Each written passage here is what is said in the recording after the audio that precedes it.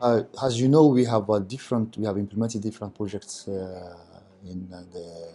sector of transport and logistics in the country. Uh, we have uh, invested in ports, we have invested on uh, free zones. now we are also investing on inland transportation in roads. So the, the port community system is the first system in East Africa connecting the whole port community and uh, the whole logistic uh, system uh, in the Djibouti corridors. Djibouti port, port community system will facilitate the transactions between the shipping community and transport and logistic community in Djibouti by offering a platform which is connecting them all together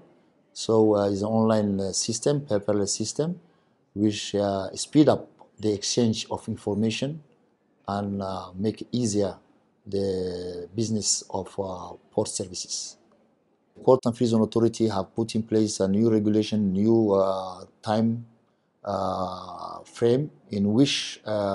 all the ports community and port services have to answer, and that's one hour within in one hour they have to confirm that they have received a request from a, ship agent or from the freight forwarder and then they will process all the requests within one hour which is supposed to take now up to 72 hours. So that uh, will save a lot of time and a lot of uh, resources.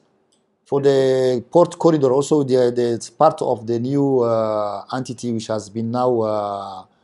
created and uh, for the port corridors. All the port corridors uh, connecting to uh, uh, neighboring countries uh, also will use the system of port community system, even for the payment online of the road fee and any information related to the road, the, the traffic, the circulation, the traffic jam, if there is any special request, it will be reported through uh, that uh, uh, port community system in place. And also it will allow our customers uh, on uh, the neighboring countries like Ethiopia who are using our services to trace where is the cargo and how is progressing the documentation of for the clearing of the cargo. Yeah, that's another advantage that the system will provide since it's online. Everybody can see it and it's create a, kind of a transparency how fast the, the, the, the service is rendered. If uh, the request is uh, more than one hour, it will be seen in the system and nobody can hide. The time the request has been put uh, forward and then the time the response have been uh, given to the customers, all this uh, information uh, will be we will going to have a trace in on the on the system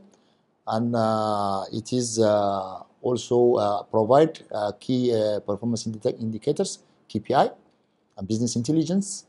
that uh, it will gather, the platform will gather, and this will be available for our customers so they can better understand